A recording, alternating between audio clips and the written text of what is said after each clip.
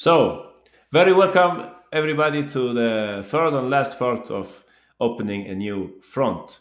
This is a very nice game where we have with the white pieces Grandmaster Yevgeny Najer and playing black is Sam Usenko. So, um, for one reason, I have the white pawn. Okay, I'll revoke your pawn, uh, L008. So I'll start with this one. I wanted to show you this kind of thinking of opening a new front also in the middle game perspective or a late middle game, early end game, you could say. Oh, new people are joining. Okay. Um, so at this point, I'll just quiz you for a little variation here. Let's see if you can figure out how Grandmaster Najer continued in this, uh, this position. All right. Uh, I'll give you for this little mission 1 minute 30 seconds. All right. Why to play and get some advantage here, okay? White to play and get some, and increase their advantage, we should rather say. Increase their advantage. All right, Royal XB, you got it. You're the first winner here today. Great work. I get the point, Guinea Pig and Adiches. Uh, that's uh, completely coherent with our topic. L008 also. Yeah, I like your idea. Um, it's probably not bad. Uh-huh. Uh, but I think uh, what uh, Royale, Chess, Rayo, and Sabham are proposing, I think is even stronger. And that's what uh, Najer played in the game. Then we have some other ideas. Oh, we have rook sacrifices coming up here also. That's a flashy move. We'll have to look into that. Aha, queen, yeah, and the, increasing the pressure at the d7 pawn, some people are saying. Wow, e6, that's a brilliant move, I guess. What happens if I take? Well, we will have a look at that. And uh, Robo, you were very close, uh, Robo. Uh, great work. Aha, by Robo also. Um, so let's uh, first uh, check the sideline, so to speak. Some people are saying here a4, which makes a lot of sense uh, to open up a new front. Um, I understand what you mean. Uh, if I now take, you'll take back, and you're attacking the pawn on d7 with more strength. However, I guess that what I would play here is simply bishop c6. This is my next move anyway, right? Uh, I definitely have to play bishop c6. White already has a, fir a first front. We should have that clear from the very beginning. That's black's main weakness, right? The pawn on d7. So black is probably going to play bishop c6. They're going to reroute this rook to e8. That's what I think is what black should try to do here um, in order to improve their position in, in, to some extent. So if a4, I guess bishop c6. And um, yeah, I think that's uh, okay for black. I mean, after all, my bishop is protecting these two pawns now. I know you could play something like a5, like uh, last uh, time's uh, session we were speaking about fixing weaknesses and so on. But uh, actually, I think there are more prospects on the opposite flank. So that's what some people are saying. But okay, we can look very quickly at the other options here. E6, some people are saying, if you play a move like this, letting me get rid of my weakness, then you should have really strong arguments. So, okay, I'll take. And uh, what was your idea here? Uh, anyone who, who would like to show me their variation here? Uh, my tactics are not 100% at this time of the day. Rook d8. wow, is that really possible? I'll take it. I don't follow. Those who said e6, speak up. Let us know what you had in mind. To me, it looks like a little present. If you play like this, you're giving black a present here. You give them a pawn and also closing an old front. Yeah, good uh, way to express it, uh, Robo. You're right. So save this one for later, okay? Save this move for later. It can be a very strong move, but probably not right now. Yeah, queen f5, some people were saying. I guess I'll play bishop c6 then. Perhaps you were trying to attack me on this side. I will have to play g6. Looks very ugly, but I guess that's what there is, right? I don't have so much else to do. Um, so, yeah, queen f5, it's a possible move, I think. It's not a bad idea. And, and then there are some other... Uh, rook f6, somebody was saying also crazy move rook f6. Uh, in the first place, are you mating here? Uh, else, uh, again, it's like a present, no? The first thing I would check, of course, is if I can take and just play queen d8. If you tell me that you're mating me here, good for you, but uh, I can't. Oh, you can actually, right? Oh, you're mating me somehow. Are you? No, I don't think so. Uh, anyone with a sharp tactical eye, let me know what is this? Uh, what's going on here? White is not mating because this square is not available. What What do you mean, Ryo? Can't I just take it or? Now we're speaking tactics. What? I don't follow. It looks lost for white. Yeah, I think so too. Queen e4 instead of queen d8. Oh, oh, bravo, bravo. I didn't see that one coming. Of course, very good technique. Forcing queens and winning the game, I guess. So rook f6, it's too um, too flashy. No, that's wrong lesson. We're speaking strategy today, right? Opening a new front. So too creative, yeah. Uh, let's uh, listen to uh, who was the fastest one? It was Royale. So Royale, uh, please go ahead, Royale, and uh, share with us uh, what you have noticed here. H4, all right, that's a very nice move. It's like gaining space, but at the same time, we're trying to see if we could create like a new front on the king side, try to attack them on the king side. After all, they don't have so many pieces at defending their king side, right? So that's what uh, played in the game. You can see clearly here, Royale, that if I play move like h5, it's very weakening. No, uh, you can already start to look at sacrifices and so on, uh, or you could perhaps attack this pawn in some way. Uh, Tal would never play it. You're saying in the chat. I think for Mikhail Tal, this would also be a very natural move, h4. Um, in my opinion. I mean, anyway, in this case, maybe you can play something like rook d3, bring the rook one nice thing about h4 is also that you can forget about any tactical pitfalls with check on c1. You always have a flight square for the king. Alpha zero, rook h6. Yeah, I mean that's what, what was my idea, Ryo. I was just thinking that maybe I should move this uh, rook first, but uh, okay. Oh, you mean rook h6 wins uh, straight away? Maybe you're right. Yeah, I mean we have a draw in the pocket, but I guess we can even play for a win here, right? Aha. I guess so. I guess you're right. Yeah, unless uh, somebody can prove the opposite. That seems like you're, you're winning. I don't know. Could I take this pawn and sack the queen? Or that's not enough. Oh, just rook G- g3 anyway. Uh, go back. Okay, what did I blunder? Uh, I, went I, back. I think the. no, I think the rook d3 first is unnecessary. Play oh, it's unnecessary. Oh. Yeah, queen, just queen. Oh, you just pick up the pawn. I understand. You pick up the pawn. You mean like that? Yeah, and nothing's hanging. Nothing's hanging. Yeah. Yeah. Now. And now you just play rook d3. This check is rendered harmless because I can just play king h2, and exactly. I don't have. There is no chance of saving this with black. I guess. Aha. Uh-huh. I mean, I don't have something like this, do I? Could I use the bishop in that way, or is this too clever? Maybe this went too far, don't you think? Something went wrong on the way. Yeah, so let's not uh, abuse of, of tactics here. I mean, the idea is great, but if we have such a big advantage, why do we have to venture on sacrifices if we can play something like rook d3 first? In my opinion. Oh, rook d4 says Sabham. Yeah, maybe you're right then. Okay, okay, I, I see what you mean. So you prevent bishop e4 then. I guess you're right. Yeah, uh, fair enough. You can just play rook h6 and you can yeah i understand Sabham's variation something like this and then bring in the rook. And now rook g4 yeah agreed uh, i guess. Unless i can play rook g8 here can i? Oh you, you you're giving check on h6 then. Oh i see i see. Nice nice. So it seems to me that you're winning in every variation. All right. So uh, h5 it's hard for a human to play uh, hard to play h5 and he didn't play it in the game uh, Samosenko. he simply played here the move bishop c6. Uh-huh. And uh, okay, Royale, are you still there? How is your plan? Exactly, h5. So basically, we're trying to push h6, which would soften up black's uh, dark squares. They cannot play h6. Uh, that's what I quizzed you on. And uh, yeah, time is right for sacrifice. It's basically like the other variation, but it's it's even even stronger, I guess now, because uh, yeah, we have some extra tempo. I think something like that. So, what do you think? Uh, what's the name? Royale.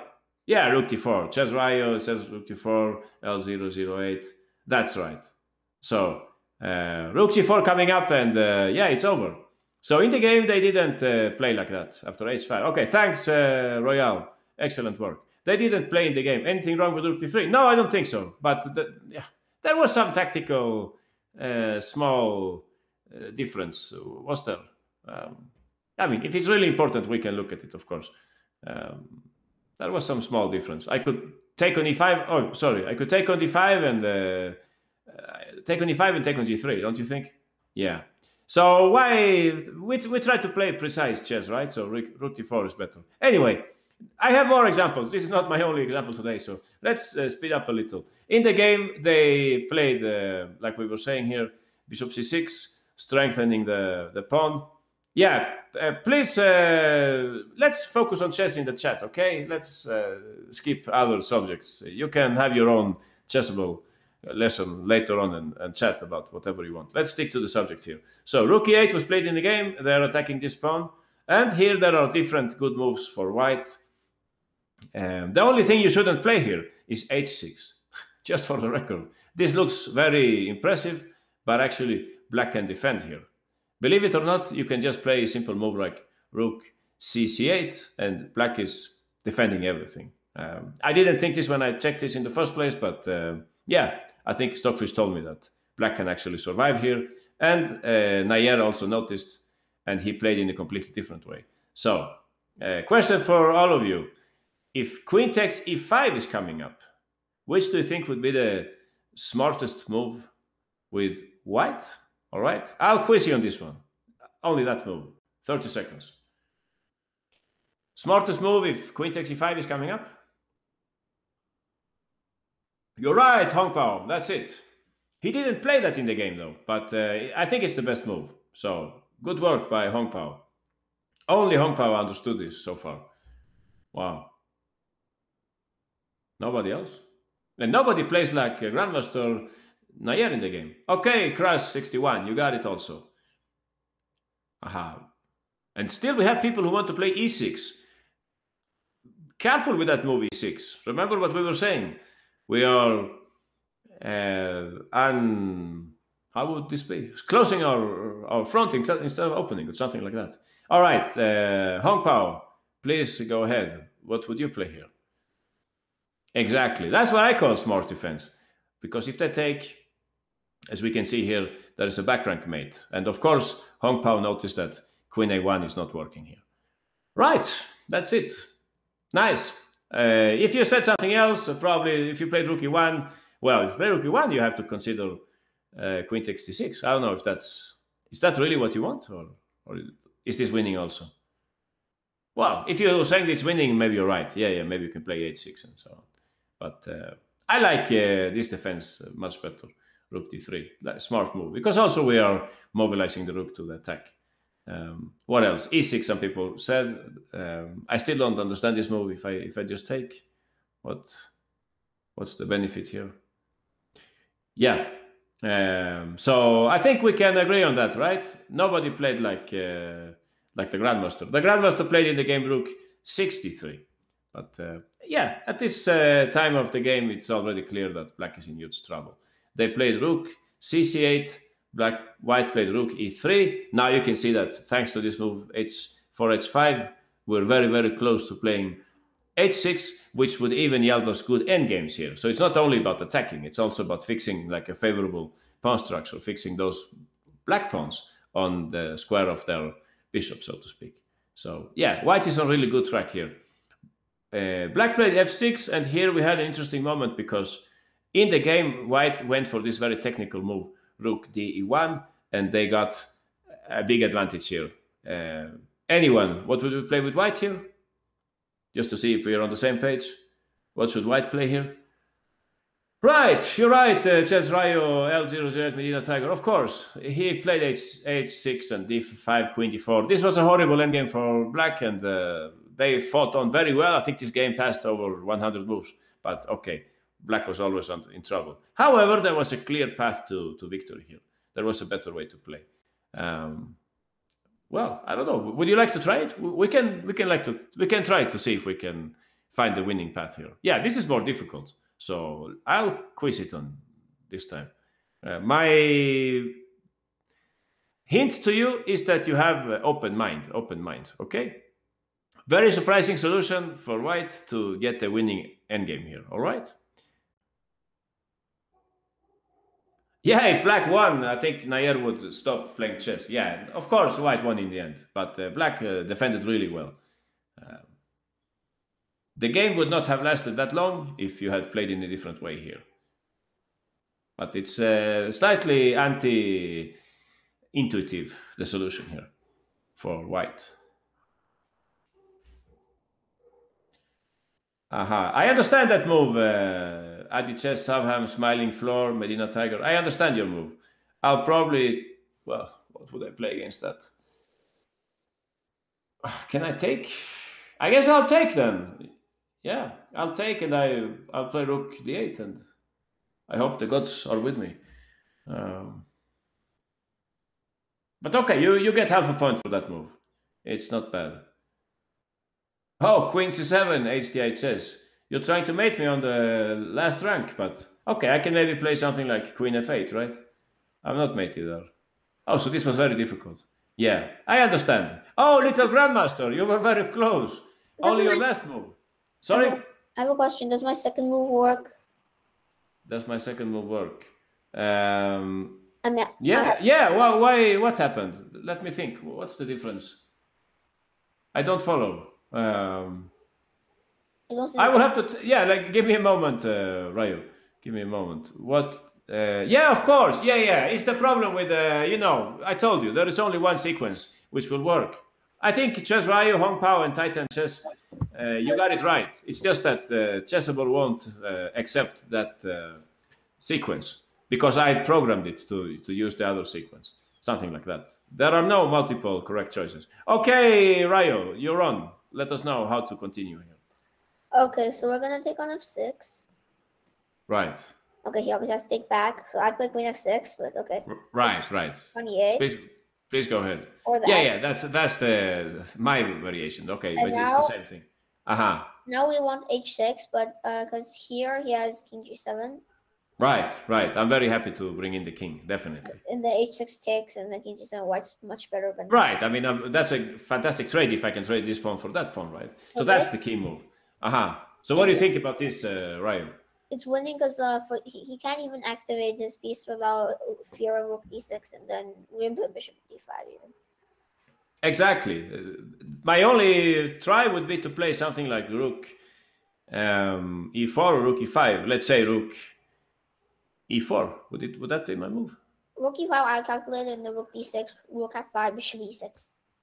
Oh, really? Nice. Rook e5, rook d6, rook f5, bishop e6. Very pretty move. Aha. I see what you mean. But are you 100% sure if I play rook f4 and you take and. I mean. Or I'm dead lost here. Well, I guess you play rook d7, right? Yeah. Yeah, that should be very difficult for me. Aha. Um, right. Isn't black getting mated on the back rank? When are they getting mated? I mean, sometimes, yeah, Titan chess. Uh, but okay, I'll, I'll go one square further. My plan is to play something like this. Let's see if Ryo allows that. F3. You just play f3, right? If I go for the pawn, then aren't you giving me more? I, I Oh, very beautiful, Ryo. Ve- Very beautiful. That's true beauty in chess, right? To give mate on on g8. Uh-huh. I didn't see that one coming, honestly. Right. So maybe I'm, I'm just lost here in every variation, right? D5 says Eric, d5. But then I guess there will be motives against this bishop. I don't think you can survive here. What do you say, Ryo? I don't know, rook e6, and then at least I Yeah, rook e6 should, should be winning, right? Uh-huh. So, yeah, this is too much. pawn, Maybe. That's it. Rook is yeah right. So so what do you think, Ryo? Surprising that the Grandmaster didn't play like this, or or not so surprising? What do you think? Uh, surprising pawn. Everything is easy when once you see the solution. What I think is that he thought that I shouldn't swap queens here because I have uh, attacking chances, and that's the last trade that I would like to uh, carry out. He he thought maybe, but uh, yeah, actually that's the that's the solution, like like you're saying. So yeah, you can take in any order, but the right move here, of course, like you're saying, is h6. So I hope this is clear to everybody, despite the fact that we simplified, which sometimes means uh, better chances for the defender. Black is lost here because they cannot uh, untangle really. Um, so thanks to Harry H. no, that's uh, the idea from the very beginning to create a new front. We didn't uh, never ever manage to profit from this weakness, but we created something new in the position. And just like Ryu is showing here, there are ideas like rook d6, or maybe you can also. I think there is another nice plan of bringing the rook to g7 also. It's an interesting plan. Uh, and I mean, look at black's uh, chances. They have nothing to do here, really. So, I mean, you can also slowly start improving your pieces. So, yeah, summing up, that's what this example is about. Once you have an advantage and you cannot really profit from from the opponent's weakness, so to speak, you try to create some new front in the position, and that's what Najer did. Also, I would say, like a general rule, if you can play h4 and they cannot reply h5 for some tactical reason, then usually you're on the right track. So it's almost never in vain to to throw in a move like uh, h4. Okay, I thought about showing you uh, another bishop's endgame, uh, which I which was played recently in the World Cup. Let's see if you saw this game. Uh, very very nice uh, bishop's endgame. We saw in the first uh, class we saw a case of a bishop's endgame. We saw this game. Um, Pepe Cuenca. Ah, we also saw Firouzja versus Howell. No, we didn't. That's another tournament, I think. You're speaking about uh, the tournament in Letonia, in Latvia. Sorry, uh, tactical magician. No, I'm speaking about the tournament which, which was played earlier this year in the month of July, if I'm not mistaken. And in that tournament, we had, uh, yeah, I mean, th- those games were great. I know which, which game you mean, of course, Firouzja versus Howell. That's a great game. But I was thinking of, of this uh, tournament, the World Cup. So here we have with the white pieces Nihal and playing black is Andreikin. I don't know if you saw this endgame, but uh, it's really interesting. So I'll quiz you on the first uh, few moves here. You're playing with the black pieces. As you can see, black is probably better in this endgame. Everything uh, looks very promising for them. They have managed to fix. This is of course fantastic in the bishop's endgame or any endgame to have fixed weaknesses like that. You have a lot of space. White's position is horrible, but okay, it's not as easy as it seems because after all, this is a pass pawn. Only white has a pass pawn here, right? So it's it's a tricky endgame. I can say that from the very beginning. It's a tricky endgame, but Andreikin managed to win this endgame in very nice fashion. So I would like you to follow in his footsteps. So here I'll quiz you for, well, I'll just quiz you for the first two moves, yeah, to go slowly by slowly. So let's do this in one minute twenty. Okay, you're playing with the black pieces. Just tell me how you would start your your business here in this position. Uh-huh. Yeah, I don't play bishop a4. That's a very nice uh, motive, but it's uh, not working really at this point. Okay, Titan chess, you got it. Now you can use this uh, spare minute to think about what will happen next. Bad news, uh, Royale. I'll make a draw if you play like that, I think. We'll, well, we'll see. So most people got this one right. Adi Chess, Little Grandmaster. Um, yeah, there is a group of players who who I will soon offer a draw against.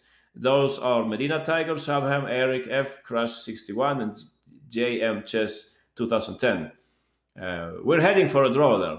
You can think about that. How is that draw about to happen? Okay, smiling floor. I understand. Uh, I understand your move. Interesting move by Royale and Hong. Aha. Uh-huh. Wow, HDI chess. That that was a mouse slip, I guess.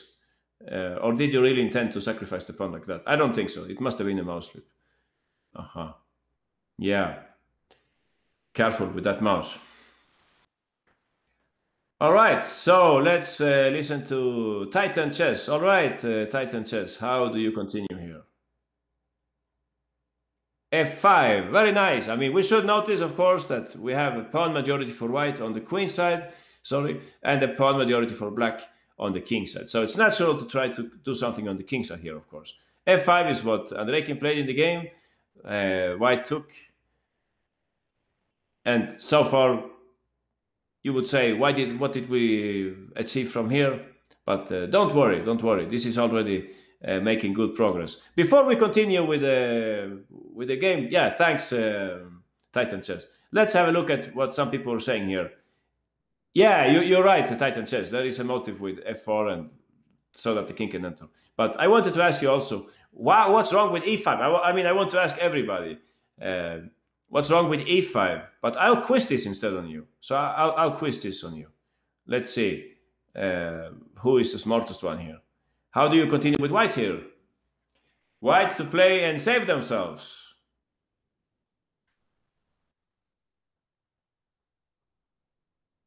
That's right, the Titan Chess and the L008. Don't do that, little Grandmaster and Subham. You let my king in. Uh, that's gonna be very dangerous for you. Oh, everybody, I, I don't even, even have the time to name everybody who found this. Aha, yeah, it was not difficult. Okay, so congratulations to everybody who found this. Uh, a lot of people found this little trick. I think I can just cancel the the quiz right now. So uh, L008, how do you continue with white here? Aha, right, perpetual. Yeah, exactly. So it's not a perpetual check, but it's like perpetual sequence of moves because black, unfortunately, they cannot avoid the swap of bishops, and if that takes place, as you can see, uh, this protected passed pawn will uh, make a draw here for white. Yeah, black cannot progress here, so it's going to be a draw. Right, uh, that's why we shouldn't play the move um, e5 here. No matter its natural looks, it's not a good idea. White can force a draw. And actually, even if I don't play, if I just play something else, like bishop d3, despite the fact that I have all my pawns on the, the wrong color, eh, I think I can still save this because it's not easy for black to create a pass pawn either, right? So, okay, let's go back to the right solution here. f5, we are slowly uh, approaching the idea of creating a passed pawn on our flank, so to speak, on the queen side, or the king side, I mean. But at the same time, we keep this idea in mind to enter with the king. All right, so f5 was played in the game. Uh, g takes after e takes f5. Uh, please notice here that uh, if you play something like king f4, what you, would you play with the black pieces? Anyone? Exactly, guinea pig. King d4, this is very dangerous for white because, yeah, as you can see, the king will approach the pawn. If bishop takes, you don't have any reason to swap those bishops, I think. What would you play here with black? Anyone? Bishop a4, really? Is, is that working? Maybe you're right. But what if I what if I take and I go back with the bishop? Do I lose here? Well, this was a bit confusing, I must say. Uh, okay, if you continue that conversation, I'll just uh, make the chat private. Uh, too much distraction in the chat. All right, I'll run with the pawn then. I'll run with the pawn. What, what is going on here? Are, are you really queening before I am? I don't think so, no. Okay, but I think I'm... I'm not losing here, am I? Well, I don't know what's going on. I guess this is what you want to play. Uh-huh. Interesting. If somebody's winning, it's black, right? Yeah, maybe it's black who's winning. So I, I see what you mean. This pawn is very dangerous and so on. But okay, maybe I can give some checks. I don't know. Doesn't seem that simple, no? Uh, is it simple? Yeah, but there is. I don't think it's simple because you cannot use the queen to interfere with white's checks, can you? Looks like a perpetual to me, but okay. King c1. Oh, I see. But still, is that is that really winning? I think we should look for some easier path, right? No, no perpetual, no perpetual. Maybe not, but okay. Uh, let's be practical. So back again. Pawn takes. If king f4, we were saying king d4, bishop takes f5. All right. Any other uh, suggestion for for black? Anyone with a sharp tactical eye? Are we able to play I mean, my wild guess would be something like bishop c6 because then I would be able to play king c3. Is that working? I think so, no? Because I'm, I'm, I'm giving away the bishop on the c file so that they don't queen so quickly. Anyone, wake me up if I'm... Oh, Ryu found bishop d5. Yeah, yeah, you woke me up, right? White will win this game. yeah, white will queen before black. So, White wins. Yeah. How, how do how do we do that? Maybe there is no way to win here. That's fine because we have the same topic. No, the, the bishop will always chase the the black bishop. Anyone with a sharp sharp tactical eye, but you don't win here either, do you? Yeah, this seems like a draw. Says the chess. So maybe we got it wrong. We got it wrong here after king uh, f4. But I'm pretty sure black wins here. I, I, simply don't remember how how does this work. I think you move the bishop first. Do you do that? Yeah, yeah, of course. Okay, I should probably be quiet and no, I don't plug in. I don't want to plug in the engine. I know the move. Without an engine, I can find it. Yeah, bravo, crash 61. All right, uh, crash 61. You will have the black pieces here. Please show everybody what you found. Exactly. So that's what we speak about here, working on two fronts. So we are going to take that pawn. So let's say I take. Right. We shouldn't invade with the king, of course. We already saw this. So you're right. You take the pawn. I now must protect against this threat. I'll have to go back. And uh, here I think it shouldn't be that difficult because you already have the pass pawn. You already have the second front to work on. We have this already something can happen here and at the same time you can start pushing the exactly you can start pushing the passed pawn so no matter what happens here this is going to be very very difficult for white. Please notice that as soon as the pawn all right you run with that pawn. Yeah why not? Then you run with the other pawn. White's problem is that as soon as the king approaches well he's inviting the the thief to to their house so to speak. The king will enter and yeah uh, they will have huge trouble. So basically that's uh, what this is about. And we will come back to this in, in the main line. So now back to the main line uh, after f5 pawn takes pawn takes. White's most oh sorry. White's most critical move here is uh, i think the move f4 so that we don't let them have any chance of playing king d4 so f4 now it's uh, your turn guys. Uh, here i have a little mission for you. I have a little mission and we will see who is the most clever one here. So I'll quiz you on this one. And it's not as simple as you might think, okay? It's not as simple as you might think. You have to be extremely clever to find uh, the way in which you will um, win this game, okay? I'll quiz you for the whole uh, for the whole variation. All right, uh, here we go. Two minutes. Take your time. Take your time. It's not so simple.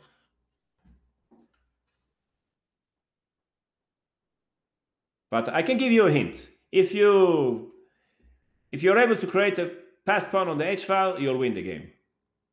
If you don't create that passed pawn, and if you let me have a passed pawn on the F file, you probably won't win the game. So, uh, information for Aditya, Guinea Pig, Titan Chess, and Robo, I will play bishop c2 there, bishop c2, targeting your pawn on f5. Mega Charles Rex, I'll play bishop c2 there, okay? And out, smiling floor, the same information for you. Bishop c2 coming up. Chess Rayo, bishop c2 coming up. I don't think you can win that position. JM chess, bad news for you. Bishop c2 is coming up. All right, and we have some other uh, suggestions here. You can play like that, uh, Crash, HDI chess, awesome Owen. Uh, but okay, I'll I'll pass. I'll play bishop d3.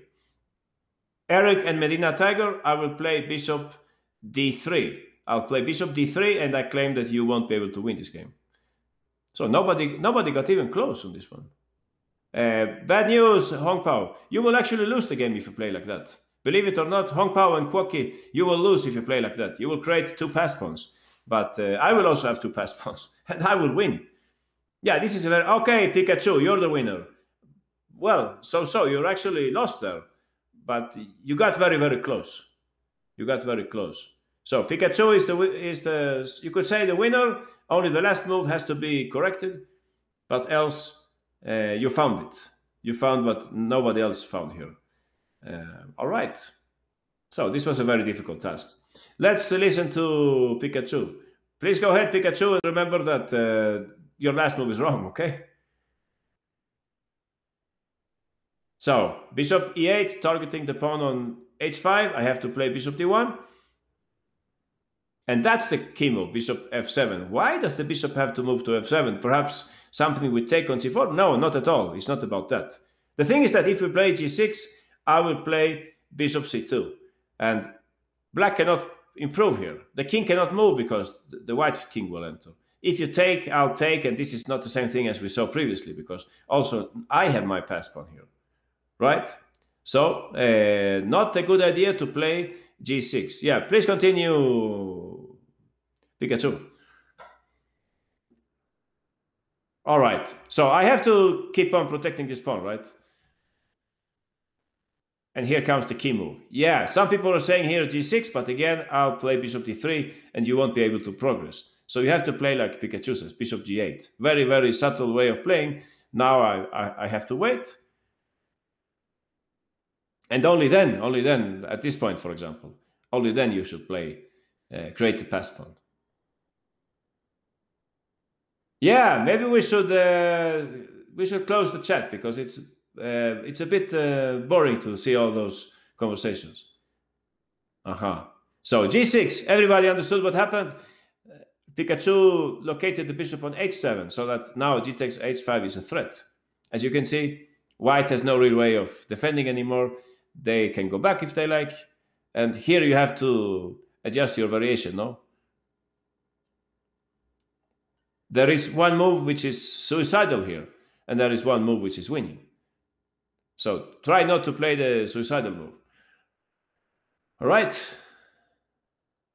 Uh, please go I ahead, uh, Pikachu. blues. Sorry, I only see three blues. three moves. G5, All right, G2, G8. Right. So don't play g5. I mean, that's what I wanted to tell you from the very beginning. That somebody was saying g5 at move. um I don't know if it if it was even. Yeah, it was something like. How, how did? Somebody was saying g5 uh, here, I think, uh, or maybe it was one move later. Yeah, something like here, the g5. So this is losing for for black because white will take, play h6. They'll bring in the bishop, and it's funny in this situation. The white passers are stronger than the black passers. Somehow the white king can control these two pawns, while if you play something like f4, I'll play king f3, and I have ideas like bishop d5 and bishop e4. It's funny, but black is lost here. So you can never play g5, not even at the very end, like like we were discussing here.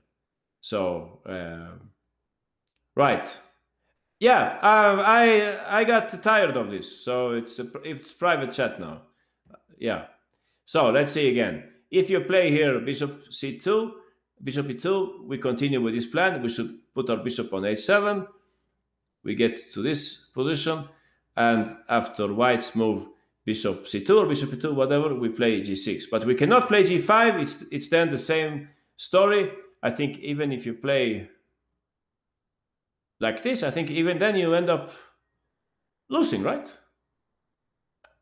Correct me if I'm wrong, but I think white is winning here because white is able to cope with the passed pawns, and uh, yeah, you can see for yourself. White is able to, to cope with these pawns, black cannot. I mean, black is able to. Black is not able to cope with the white pawns. I mean, yeah, the main reason why we maneuver the bishop to h7 is that we need to protect the pawn on f5 uh, once we want to go g takes h5.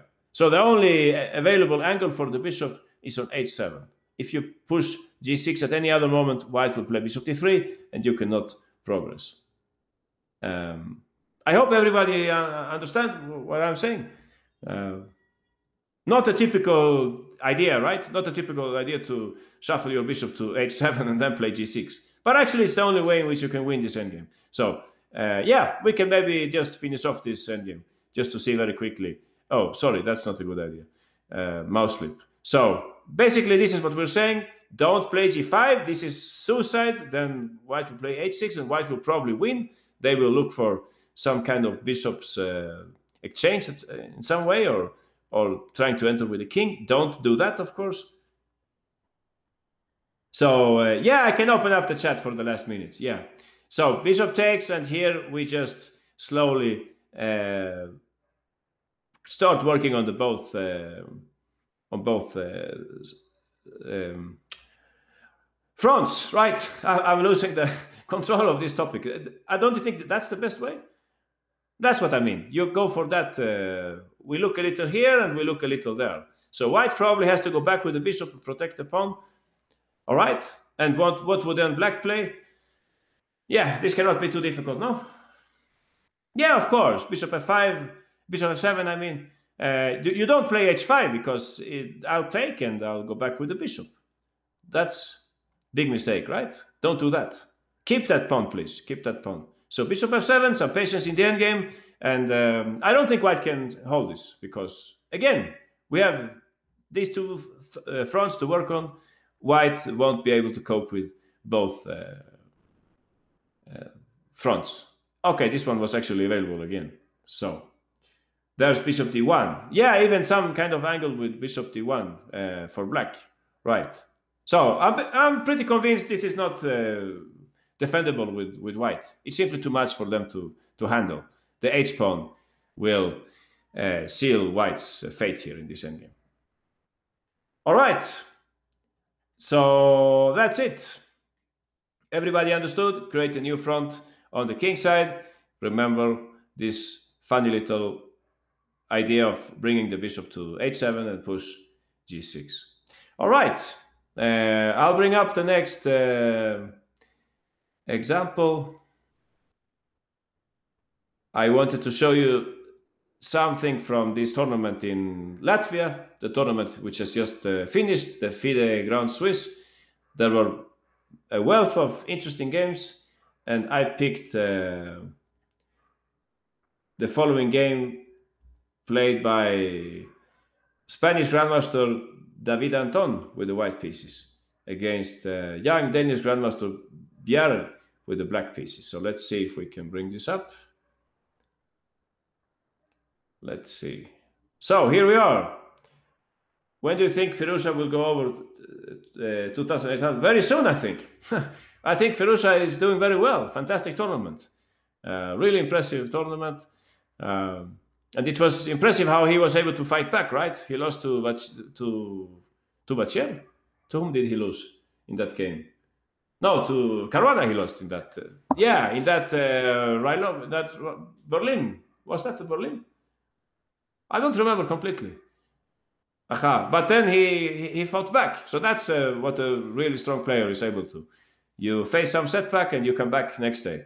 So that was, or almost next day. So that was very impressive. Yeah, fantastic games by by Firouzja. Anyway, so this endgame, you can see where it comes from. This is some kind of Karlsbad endgame. We can see that from the structure. You can see that uh, white, uh, perhaps they pushed b5, b6, uh, before b5, minority attack, and we ended up like this. So uh, horrible endgame, miss of sets, uh, crash 61, miserable endgame for black. Uh, but still, it's interesting to see how White was able to um, to take home this endgame. And also notice here our move from Najer's, the first example, h4, h5. Here it was used again. You can see for yourself, here it's extremely important. If h5 was not on the board, black would be very happy to play g6 or perhaps even g5. But now this plan has been hampered for forever. All right, I'll ask you for the next few moves from white here, from David Anton. All right, I'll ask you for just the first, uh, let's say the first two moves. Or should I ask you for more moves? Yeah, I'll ask you for more moves to make it more fun. So, four moves. Let's see if you can find those four moves, okay? White to play and improve their position. You're on the right track, uh, JM Chess, uh, HDI Chess, and Medina Tiger. But if you play it in that way, I think I get some counterplay. Uh, is that so? Could I play something like Rook C2 maybe? Let's see. Oh, everybody wants to play like that. I see. Interesting. Maybe you have a point. We will have to call David Anton and ask why didn't he play that straight away. All right, let's try to th to think here. Nobody wants to play like the Grandmaster. Well, what might be the reason? He played that later. No, just for your information, he played that move later. Um, he played that a little later. What might be the reason? Don't you think I could play f4 maybe? Is that too ambitious? And then play rook c4? Maybe? Okay, Titan Chess. Congratulations. You played exactly like Anton. Aha. Little Grandmaster and Sabham Aditya. You can maybe play that check later, no? I'll probably play rook c6. I think you should keep the rooks on. Okay, th- MM Thinker, you were very close. He played that move later. All right, but you definitely caught the right uh, spirit here. Awesome Owen, you were also very close. Uh, he played that a little later. First, he improved another piece in this position. So, Titan Chess, Crush 61, and Mega Charge Rex, you got it right. Let's listen to Crush 61. All right, uh, Crush 61, you're on. What do you play with white? All right, bring, let's bring in the king. This makes a lot of sense. It, this cannot be wrong. Please notice that the black knight is badly placed. There is no way for it to join the center quickly, like come to e6 or something like that. It's far away from from home. Uh, this wouldn't work, as you can see. White could then play. Well, uh, or maybe it does work. Well, what do you what do you say, uh, Crash sixty one? What would you play now? Maybe this doesn't make sense, no, because I cannot uh, I cannot play King d6 because I dropped that pawn, and if I play King f6, I, I would perhaps drop drop this pawn. Yeah, probably you'll play g4 and right. Um, what happened? I'm not able to to move. Um, oh, you played bishop e2. I see, I see. Right, but then I'll play king f6, don't you think? And I'll play 96. That was my whole plan. So some people are saying here g4. I think that's the correct move. Right. So probably this is uh, troublesome for for black. Please notice here that if they take, we can perhaps take with the bishop, or you can give check first. Okay, but then I play rook c6. I'm not convinced that you should go for the minor piece endgame.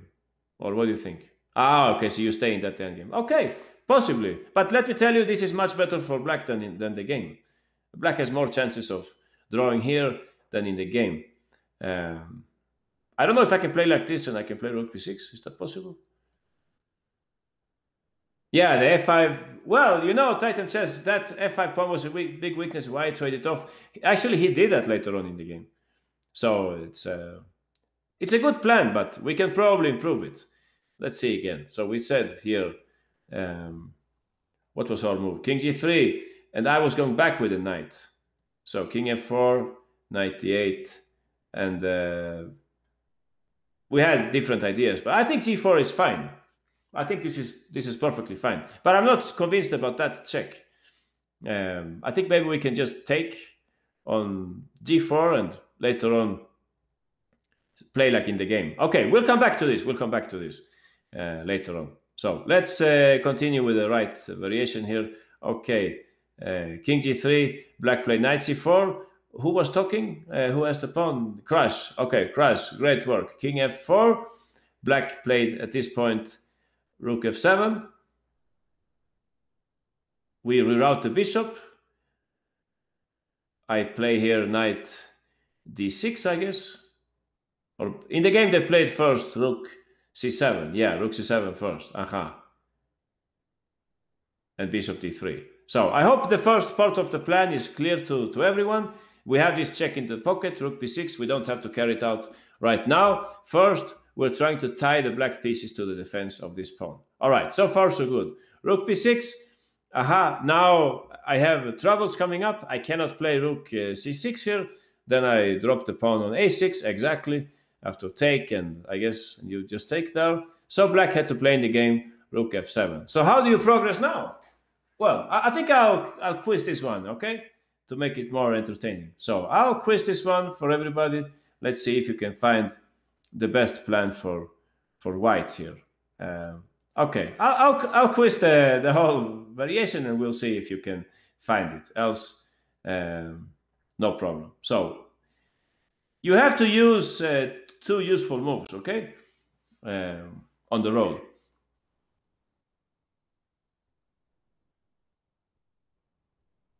I think it's a bit similar to the Rooken game we saw last time by Pia Cramling, where she um, created a pawn in the center.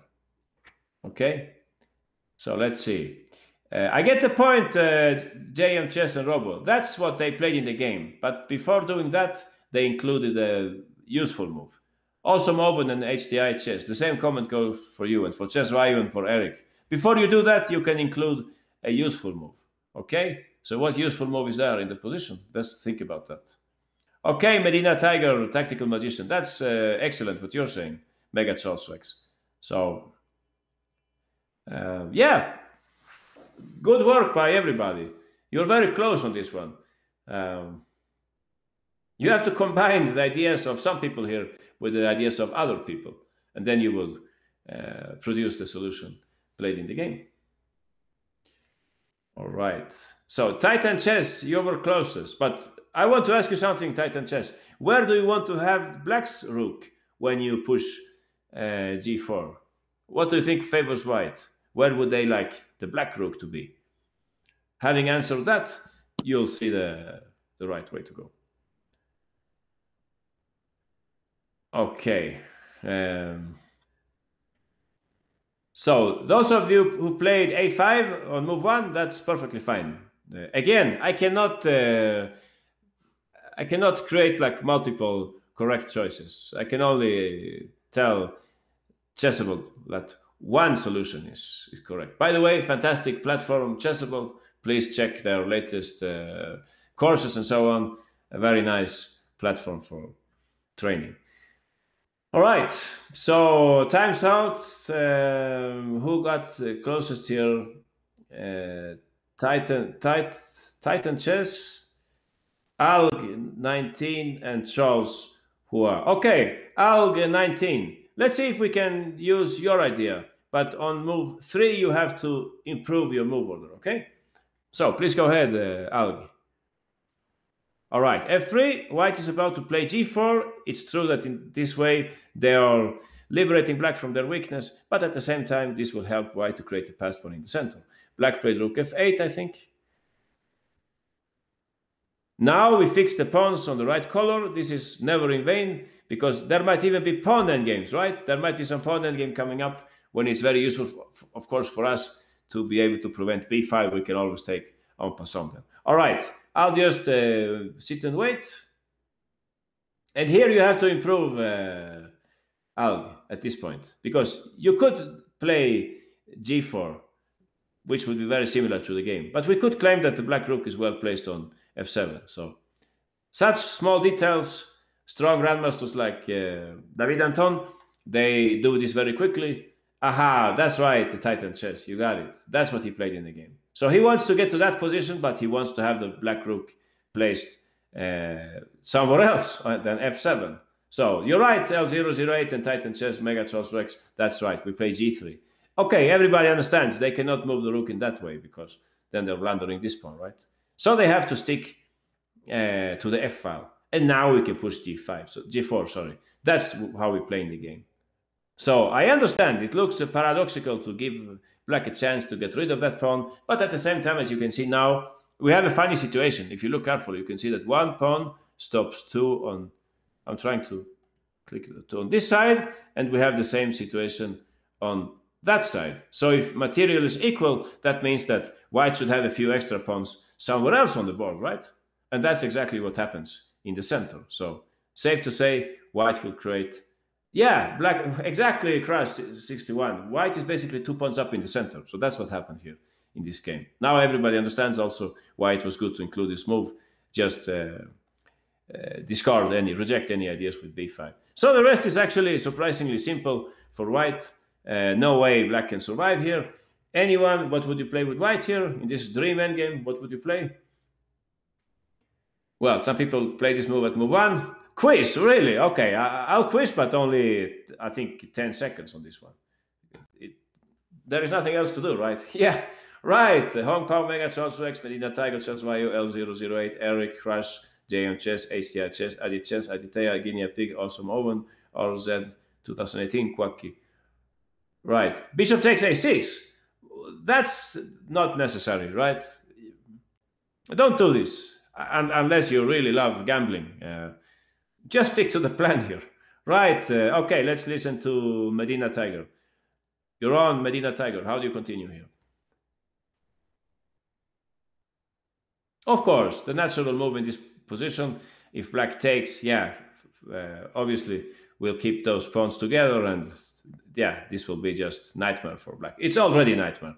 They played in the game king c7. What would you play now, Medina Tiger? Right. So that's how the game went. And there are, I guess, a million ways you can uh, win this game. But uh, he played in, in, in nice fashion here. Yeah, you're right, Titan chess. He played rook g6. It was very difficult for black to, to survive here. In this position, we have different, different winning plans. Um, one simple plan is just to push this pawn, and you can even create a new weakness there. In the game, they played rook g8. And uh, if we don't want them, want them to play knight e7, what should we play? Anyone? Yeah, you can play bishop f5. Like I'm saying, everything should win here. Even this, I guess, might be winning. But uh, okay, maybe black can create some kind of barrier. Or maybe not. Yeah, I don't know. Probably this is also winning. You move the bishop and you push the pawns, but maybe some counterplay on that side. Yeah, you can even play ace. Yeah, many ways you can play. Yeah, this is also interesting. You're right, uh, tactical magician. You're really a magician, no? You can play like that, and then you can push the pawn, and probably the g pawn will win the game for you. So basically, everything is possible in this position. Um, in the game, he played this nice move, rook e6, so that black cannot get closer with the knight. Yeah, the game already lost its interest. They played rook d8. Black would basically resign at this point, but okay, they fought on to the bitter end. And here, finally, black resigned. So, summing up, what we have seen here is that we have already several fronts. We're attacking this pawn, there is that pawn, there is this pawn. First step in our plan, bringing the king. That's a good place for the king. Thanks to this structure, black is not able to push g5, and also the knight couldn't get closer to the white king in any way.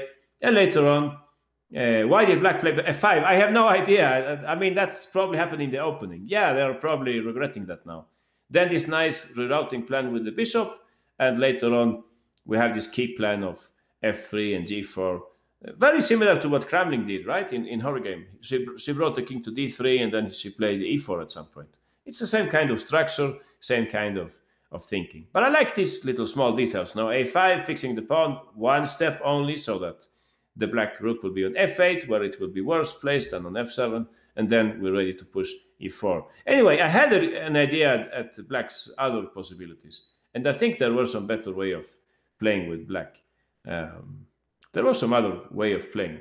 Maybe what was the other idea? Knight c4? No, that was b5. Something like this. I looked at also. Maybe that was better, or maybe not. No, sorry. I, I guess we're queening here, right? Yeah, that's not possible. Sorry. Anyway, tough endgame for black. They could have defended better, perhaps, but uh, it certainly won't be easy. So please try to see these patterns, opening up a new, new front very useful way of uh, of thinking in the end game. Um, yeah, I think maybe what my idea was to play here 96. Yeah, so that if g4, rook f7, yeah, this looks slightly better than the game. Uh-huh. Uh, for example, a5 is not in. So this is probably better than the game. But still, it doesn't change the picture. All right. Uh, Maybe I should bring up a last example, right? Let's bring up a last example. So let's see, which example should we look at? Um, I thought maybe we could have a look at one of Nakamura's uh, endgames, if you don't mind. He had a very nice endgame in the US Championship some nine years ago. Maybe you're familiar with this endgame, maybe you aren't. Um, still, I think it's very instructive. So let's have a quick look at this endgame with white pieces Nakamura and playing black Kaidanov. We have some kind of, uh, yeah, which opening would this be? Actually, I'm not convinced uh, about which opening. Is this some kind of Slav or whatever with the bishop? Sad bishop, white has a better structure. You can see a weakness on a5. White is happy to have the bishop pair. Bishop e1, we always have it, but black will always play king b6. Um, so safe to say white is, is better here, better pawn structure, bishop pair, passive black bishop. However, black is solid and you can see that this knight is doing a great job. Aha. So let's see if you can come up with Nakamura's plan here. I'll quiz you for the first, let's say, three moves in this game, okay? Let's see the first three moves in this game. All right, how to proceed with white here on the topic of opening a new front, right?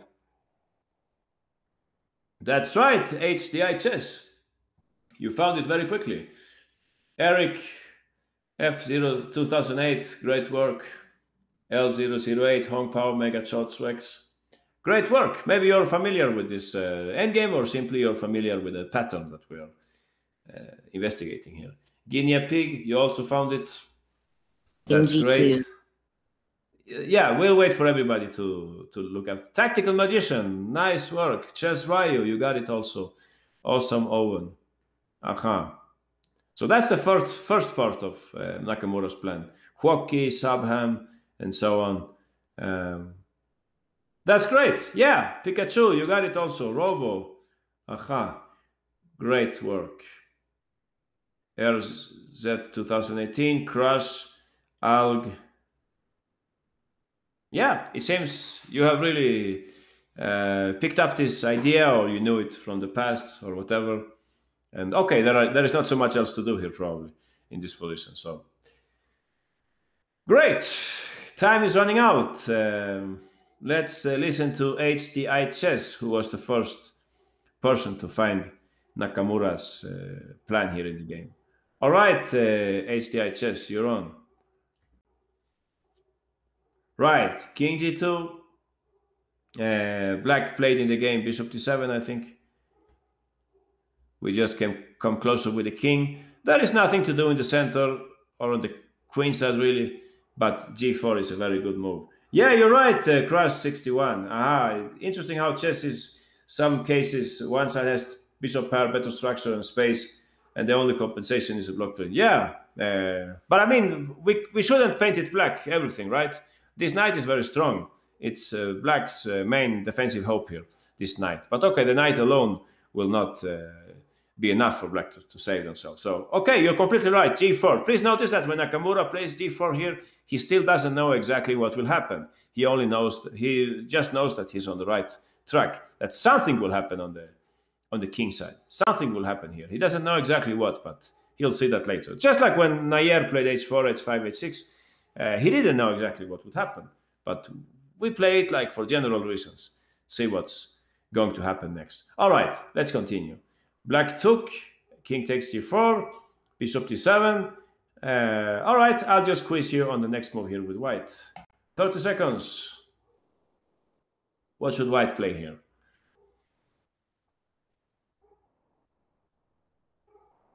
Yeah, you're right, uh, JM Chess. Chess Ryu and Savham. That's what Nakamura played also.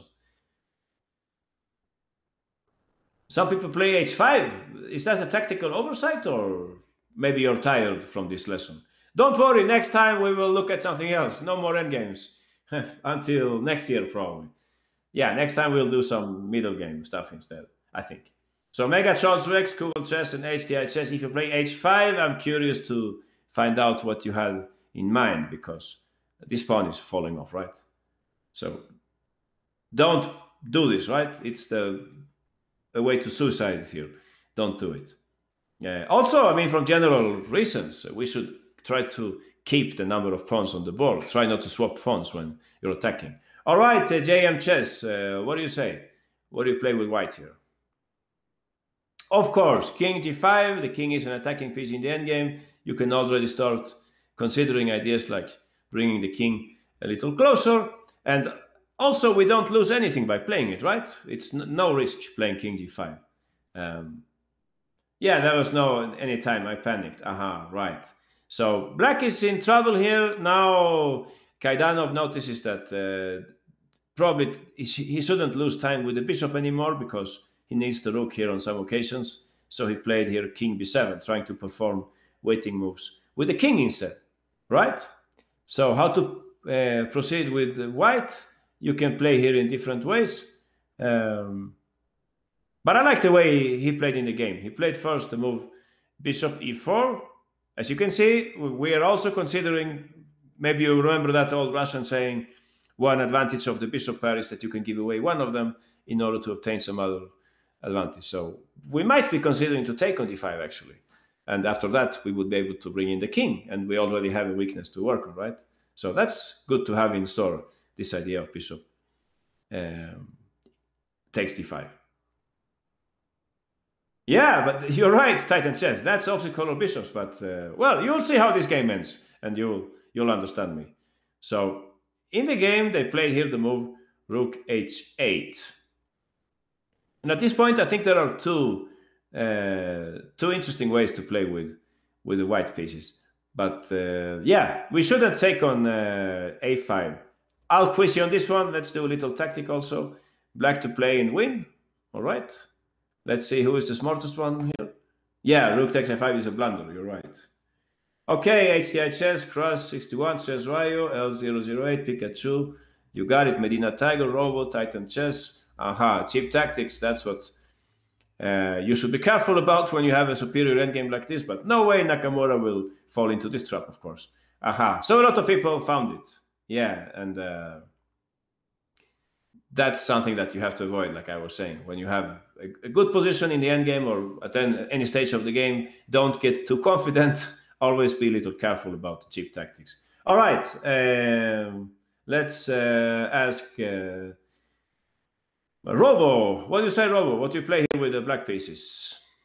What about this cheap tactic?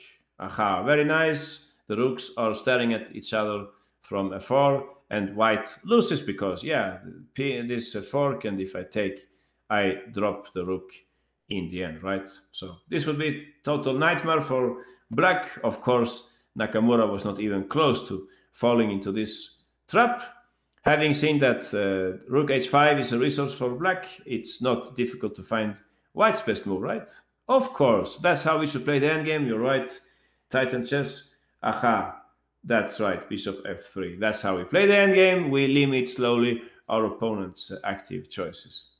Black played at this moment rook a8 because actually now the pawn is hanging, so they have to protect it, and there is no other real way to protect it. Yeah, you have to go back because king a6 would just run into bishop e2, right? Again, don't forget we have different fronts to work on. It's not only about this rank. Oh, you're moving the pieces now. Thanks. But uh, I think I'll move them myself, okay? Uh, thanks anyway. So Bishop f3, control, no rush here. Let's restrict black. That, There was the move rook a8. And uh, yeah, something interesting happened here because what Nakamura did now is very human. He just shuffled around a little the pieces to see what, what would happen. So there are different ways in you can, which you can proceed here. But first he checked if he was helped by bringing the bishop to, to this diagonal. But later on, he actually said that, no, I don't really need that. Um, maybe he checked some check here and king comes there and how to progress. I better uh, go back, then he said. Then he found the, the winning plan here. Bishop f2, bishop d7. And here you have two different ways of winning this endgame. You can either play like Nakamura did in the game, or you can play in a more flashy way. But I like the way in, in which he played. So I'll quiz you on this one. This will be one of the last quizzes today. Let's see if you can find uh, the best way to, to proceed here with uh, white pieces. Okay, I think that's about it. Yeah, one minute should be enough at this point.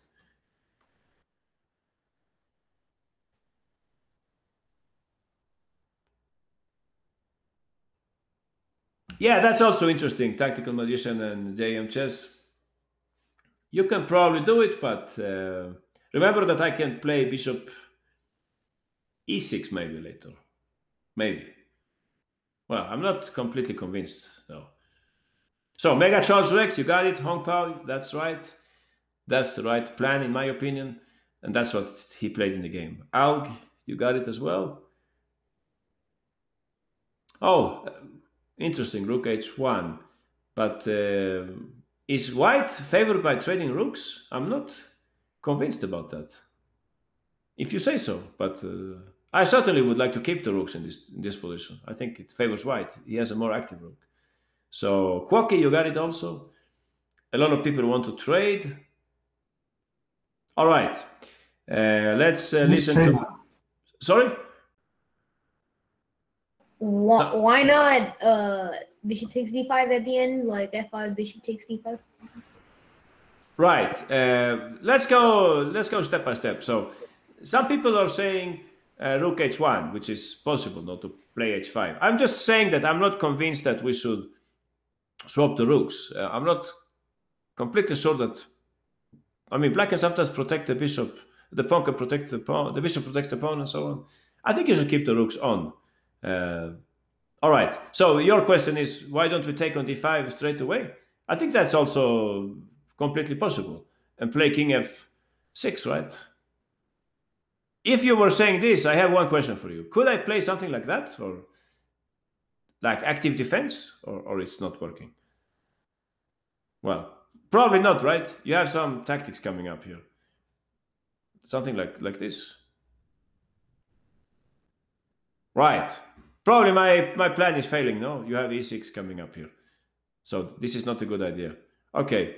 Um, I just wanted to defend in active way. So I'll play bishop e6 then. So all of you who were saying this bishop takes d5, um, what, what, what would you like to play now? Um, like tactical magician. Uh, I can give you the pawn tactical magician, so you can play with, with white. What was your idea here? The pawn is pinned, so I can take the bishop. But then I'll play rook h5, don't you think? I feel like I'm defending here right now. But okay, maybe I'm wrong. Sorry, the pawn is pinned, so I can't take the bishop. Are you speaking about the other variation? Or, or what? King e7 to go bishop c5. Interesting. I guess I'll just stick to my plan. I do think I have some counterplay here. And also you haven't created a pass pawn.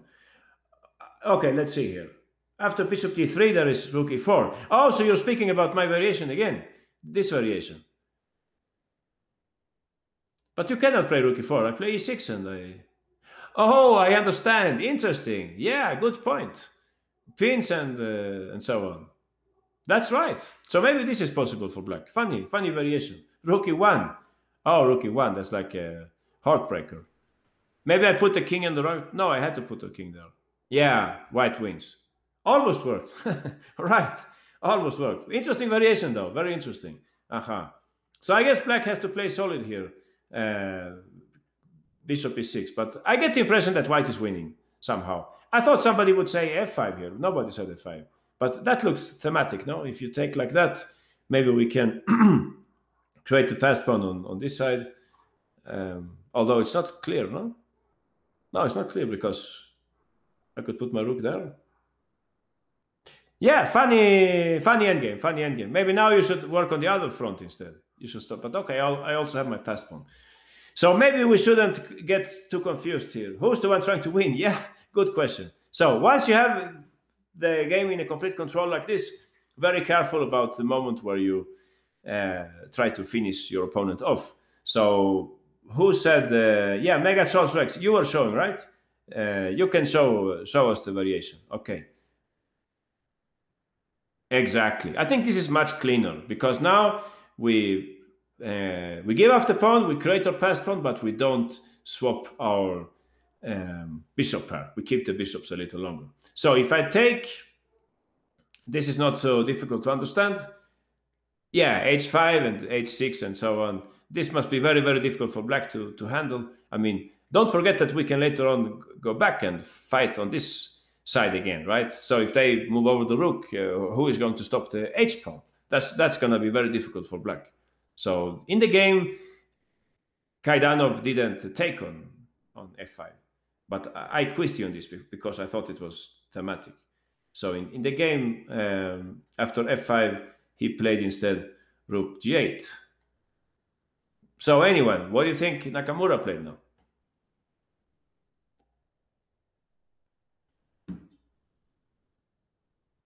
Exercise. Okay, okay. Right. I'll just quiz you for one move, okay? I'll just quiz you for one move. Interesting Titan chess, your variation. We can look at look at that also. Yeah, I think uh, we're very close to. But okay, don't do that, right? Don't take because I take on f5. So Crush, uh, Guinea Pig, Hong Pao, Adi Chess, Shazwayo, Eric, L008. You played what Nakamura played, and I'm pretty sure that's the best choice also. Um, Sometimes they say that when you have the two bishops, you should open up the game, but actually here it's the opposite thing. Um, you're right. So congratulations to all of you who said the move f6. That's what he played in the game. The idea is clear. We're fixing a weakness on f7, and that's not an easy pawn to protect, right? And yeah, I mean also queening scenarios and so on. Um, yeah, I'll reopen the I'll reopen the chat when we're done. Okay, uh, we're not in a hurry. If you take on d5, d5 I'll take on f5 just for the record, no. And if you play king f6, I'll take. You can take here, and I'll look for some counterplay. I don't know, rook. Uh, can I play rook d2? Maybe. I have the past pawn also. I don't know. Or what do you think? Uh, is white winning here? Probably white is winning, you know? Yeah, bishop c5, I think you're saying, Titan chess. Aha. I was relying on rookie e2, but I guess you can just give check and then run with the h pawn, right? Well, if you're saying that you're winning, I, I believe you. No, I believe you. But okay, maybe I can still fight on. Some distant hope of giving away, give, give away something. Rook h2, maybe. Or I don't know. Or, or, or you tell me. I don't uh, see it clearly. Well, I could perhaps even take there. And... Am I alive? Or you have some pretty tactic here? Let me know if you have some pretty tactic, but uh, I can't see it. Yeah, nothing going on, right? But it's not working, Titan chess. I also looked at that, but it's not working. It's I win. Black win. Some someone yeah, right. So I think if we calm down a little, we can win this with white. Definitely. But maybe it's not as easy as what he played in the game. Maybe we can play some move like rook f1 to have more control and so on. But uh, yeah, still it's a little tricky, no? And I also have another pass pawn here, so who knows? I think it's not the cleanest path to victory. I like much more what he played in the game. So you can see, you can learn from these strong players like Nakamura. One important uh, way of thinking is to restrict opponent's activity. So by playing f6, he's basically ruling out any counterplay for black. So I think it's the right way to go. Maybe Stockfish would say something else. I don't know. But uh, yeah, for humans, this way of playing makes a lot of sense. All right, black played rook h8. And now white would like to proceed on the... They would like to enter with the king, but that's not possible, right? So how do you think we should progress at this point? Quiz for you. Okay, Titan chess, you found something for for white, rook, bishop f8. I see. Probably right, uh, white is winning now. But remember that we are moving the pieces and they had to uh, figure this out uh, in their mind, right? They couldn't move the pieces, so it makes sense to look for the most practical path. All right, HDI chess, Pikachu, Titan chess, Crush, JM chess, L008. That's how this whole thing works, right? Working on two fronts or uh, two weaknesses or whatever you call it. You try to exhaust your opponent's defenses, and in this case, we have to deflect the black rook from the H file. Uh, all right. Let's listen to L008. What do you play here? That's right. Black cannot protect with the king, of course. They run into some tactic. They have to play rook a8. And your next move is not difficult. Aha, that's right. This king will be a beast when it reaches g7. It will be attacking the pawn, and also white could consider probably to play h5. I mean, we had such a position earlier on, but not with the king on g7. so that makes a big difference. Yeah, black cannot even stop king g7, king f7, king. I mean, I can play bishop e8, but okay, we'll we'll see, we'll see. In the game, black played here knight f4, looking for counterplay, uh, so that if well, there is a cheapo here, right? He would like to play knight e3, I guess. Although at this point, I think everything is winning for white. So I guess also this is winning, right? They cannot take because of bishop g3 and so on. Yeah, basically everything is winning. But Nakamura sticks to this uh, restrictive fashion. First, bishop e3. And after knight h5, you can guess for yourself what white played. Uh, should I quiz you on this? All right. Let's do it.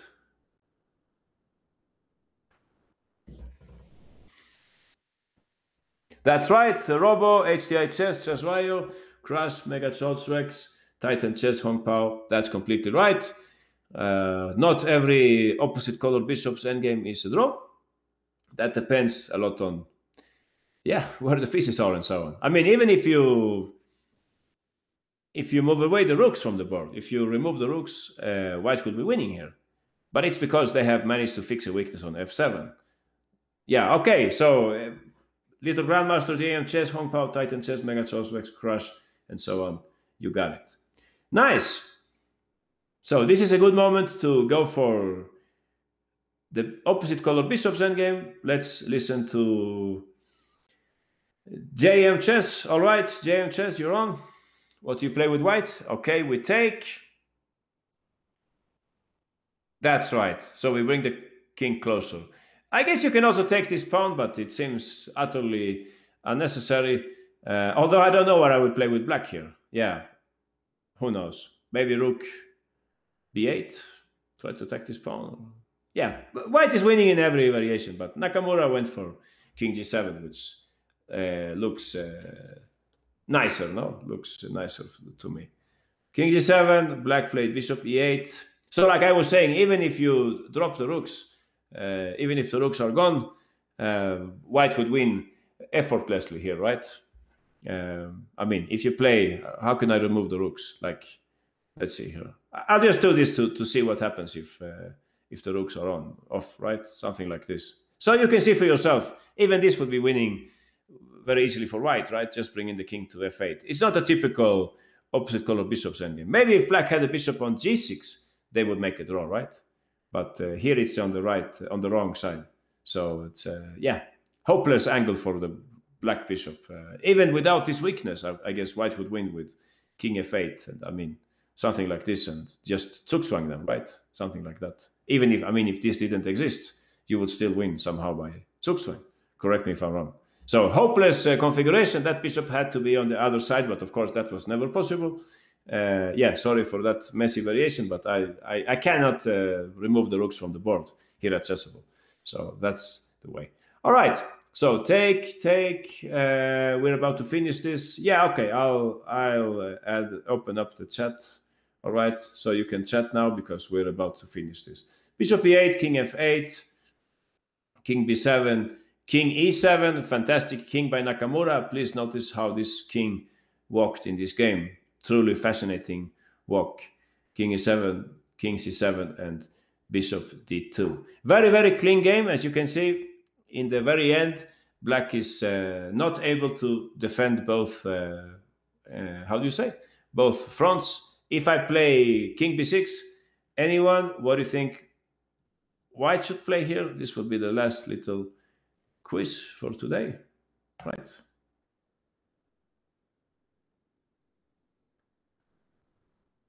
What would you play with white? Yeah, that's right. L008, uh, Crush, Titan Chess. That's right. Eric, RZ, Pikachu, Tactical Magician, Quacky, Chess Ryu, and so on. That's completely right. It's a good illustration of how we can exhaust our opponent defending on several flanks at the same time. I think this is very simple. So I'll just cancel the quiz and we'll ask Eric for the solution. Okay, Eric, how do you continue here? The black rook is. I played um, rook takes a5 because it would deflect the rook from right. the bishop. That's that's completely right. And then that's, after rook takes uh-huh. a5, I take the rook with the check, and then after Definitely. The bishop, I I'm winning. Right, you're, you're winning here. Fine. So that's basically the whole idea. Yeah, thanks, Eric. So from the very beginning, please notice this nice plan by Nakamura. Uh, G4. He wasn't completely sure what would happen later on, but he knew that there was something. It was a good idea to bring in the king. Ultimately, it's the king which will exhaust black's defenses in this case. Um, so please keep this general idea in mind, and also keep in mind the idea that we can sometimes give up one of our bishops uh, in order to obtain some other advantage. All right, guys, I think that's it for today. Uh, thanks a lot and see you next time.